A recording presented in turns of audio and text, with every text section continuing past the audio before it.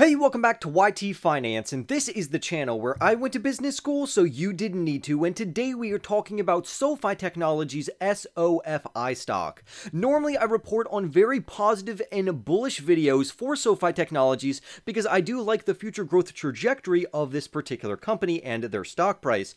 However, I also go over some of the bearish negative videos surrounding this particular company so you all can weigh the pros and cons, the risk to the reward, so you can make informed investment decisions. So in this video, it's going to be dedicated to a negative bearish look at SoFi Technologies about what bears are saying could happen with this company. And of course, I'll be giving my opinion as we read through these articles if there is any misinformation. And in today's video, we're going to look at how one of SoFi Technologies' largest investors are actually selling out of their SOFI stock. Then we're also going to talk about how investors could potentially be selling their SoFi stock right now after the recent earnings report surge. And then lastly, we're going to be going over another article that says that SoFi Technology is just an overall sell, and he has a price target on this company that is only $3.50. So, of course, I will be breaking down that price target and how he calculated it. For more videos like this one, remember to go and smash that like button right now. Comment your thoughts down below about SoFi Technologies, and if you are bullish or bearish on this company,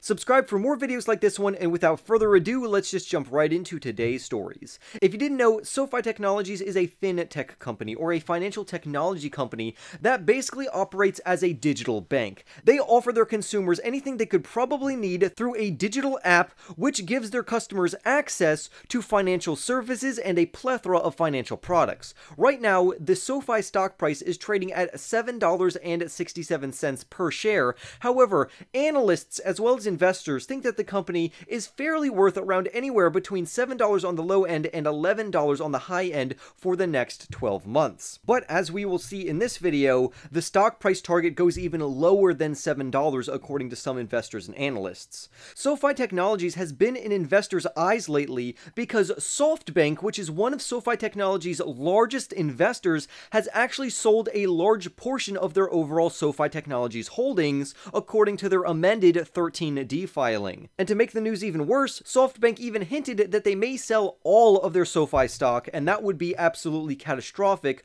for various SoFi investors. This bad news comes off of the heels of good news regarding SoFi Technologies' quarter 2 report where they brought in around $356 million worth of revenue for their earnings report, which beat analysts' expectations and forecasts where they were only supposed to bring in $340.8 million and their earnings per share came in better than expected at a loss of 12 cents instead of a loss of 14 cents. However, despite this, SoftBank actually used this good news to then sell their SoFi stock at a higher price, and the majority of their selling took place on August 5th and August 8th. On August 5th, SoftBank sold around 5.38 million shares at an average price of $7.99, and then they sold another large portion of their position in SoFi of around 6.68 million shares at an average price of $8.17 on August 8th. Now, despite this, SoftBank still owns around 83.21 million shares, which means they still have around a 9% stake in the company, which is still very large. Over the past year, SoftBank has been hit extremely hard due to the volatile and negative macroeconomic environment. To put this into perspective, during quarter one, the investment company reported a record loss of $23.4 billion.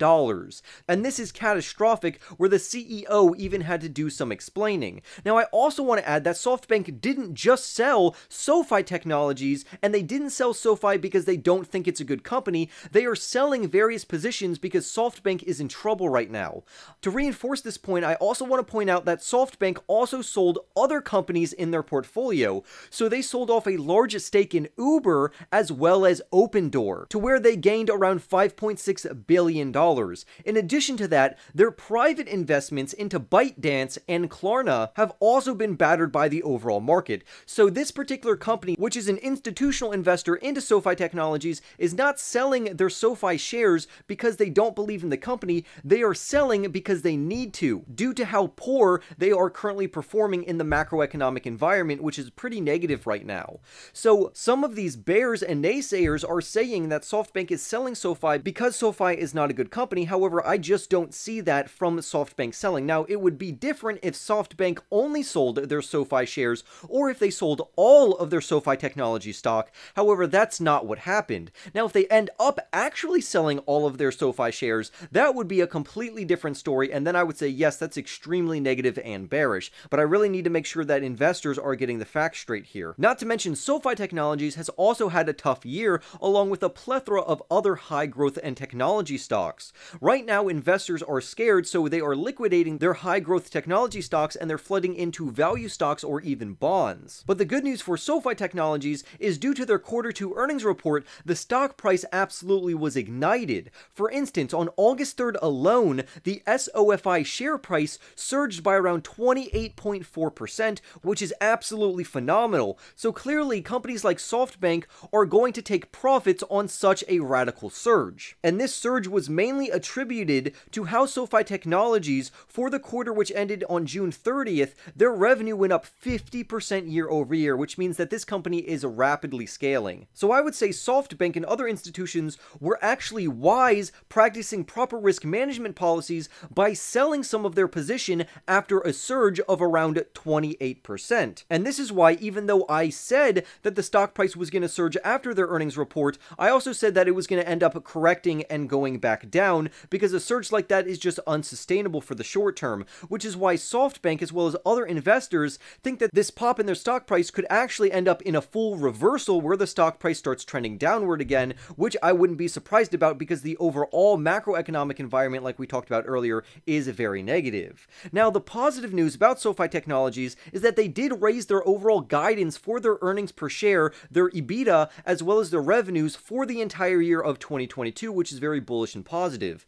We also have to remember that SoFi Technologies is rapidly growing, and that's really what I want to talk about because this particular stock author thinks that SoFi Technologies is way overvalued right now, and I can agree to disagree on this point. Yes, depending on what metrics we use and what accounting ratios we use, you can say that SoFi stock is overvalued, but that would also apply to the majority, if not all, growth stocks on the market right now, because the whole point of a growth stock is that you are trying to buy the company now based upon what it could be in the future, even if it's trading at a slight premium right now. So for this particular point, I want you to hear the author's words, and I will quote it, where he says that SoFi continues to trade at a premium to its fintech peers. Established rivals like Block and PayPal trade at a much lower price to sales or PS multiple than this company. SoFi stock trades for around 5.1 times their trailing 12 month sales, end quote. And to put that into perspective, Block trades at around a 2.6 times PS multiple, and PayPal trades at around a 4 times price to sales multiple. And ideally, we would want this multiple to be as low as possible because that means investors are getting a better deal. However, I don't think we can fairly compare SoFi Technologies to Block or PayPal for two main reasons.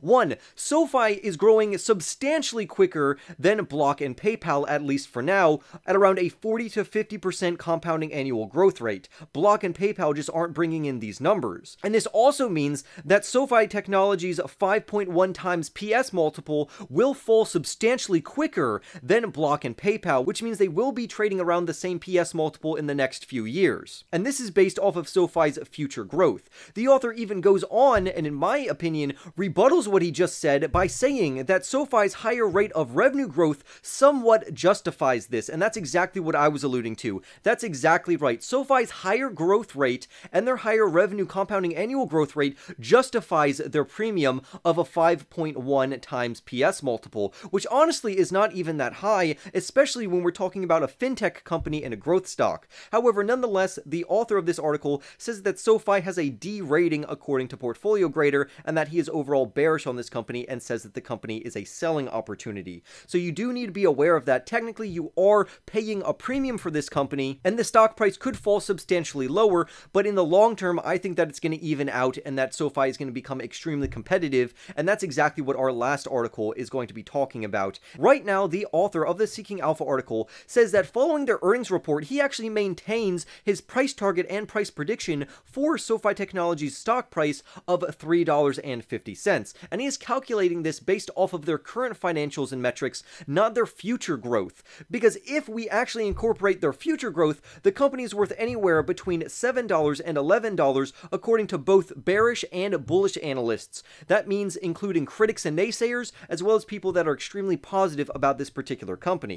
Quarter two was very important for SoFi because they brought in their second highest quarter ever in terms of their overall product growth. This means they have around 6.56 million different products available to customers right now at the end of that particular quarter, which to me is extremely positive. The author goes on to talk about how the reason why this company is bad right now and it should only be worth $3.50, which technically, if we're taking current metrics, I agree with him. However, if we're looking down the road for the next 12 months or even the next few years, this is grossly undervalued, and I would buy SoFi stock up substantially if the stock price dropped to $3.50. However, his main caveat with this company and criticism is their adjusted EBITDA, which is their earnings before interest, tax, depreciation, and amortization. So I'm going to quote directly from his article, and he is right here, and that's why I want you to listen to him. And he says, and I quote, adjusted EBITDA is a non GAAP measure that allows for a wide range of net income corrections, including, but not limited to, depreciation and amortization,